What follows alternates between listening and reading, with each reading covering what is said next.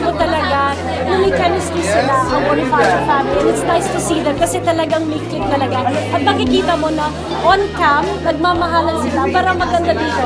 Hindi lang sa harapan ng camera, kundi even behind the cameras, they love one another.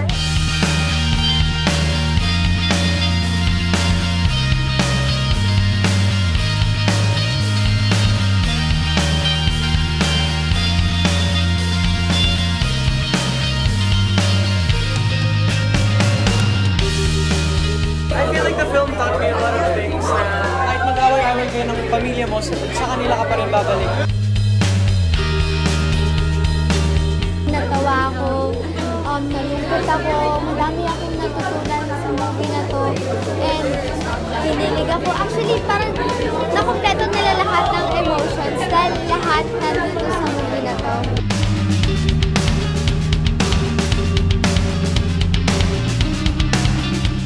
Such a good movie. There's, no, there's nothing bad about the movie. It's just a, you know, it'll make you think about how your relationship is with your own family. You know, it's time to reflect. It's a, it's a gorgeous movie. It's amazing. Parang nare-realize ko talaga na sobrang importante talaga na mag-spend ka ng time sa family. Dahil hindi mo naman malalaman kung kailan mawawala yung, yung parents mo. Naiyak ako. Um, I was really happy, I was laughing most of the time, but mostly, na-touch talaga ako. Na-touch ako and I realized a lot of things about because family that sobrang hindi mo alam kung kailan um, katapusan mo sa buhay. So dapat talaga sulitin with all your loved ones. Um, never take anybody for granted and make the most of your life.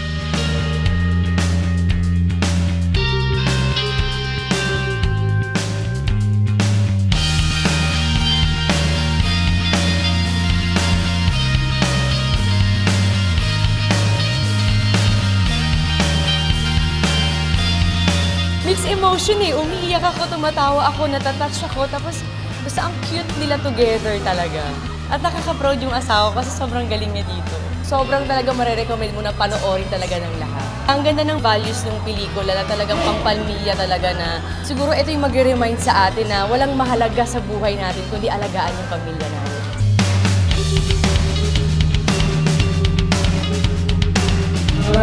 Po dahil kinuha na kami. Napakagandang naging experience namin sa paggawa ng pelikulang to. So, sana may- may-enjoy niyo po ang uh, pagpapanood nito.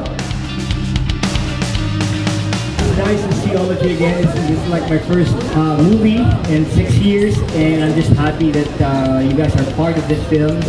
And maraming maraming salamat sa support ninyo at sana po magustuhan ninyo ang aming